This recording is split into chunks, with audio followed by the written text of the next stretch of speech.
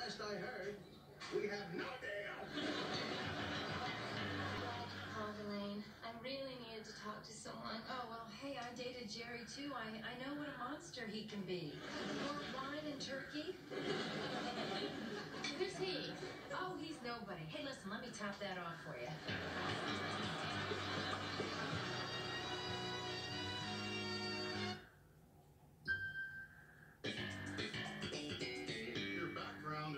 Impressive, George, but uh, how does it apply to what we do here at Kruger Industrial Smoothing? Well, at the Yankees, it was uh, it was all about smoothing things over, you know, chiseling away, grinding down. In fact, we uh, we used to call it the grind.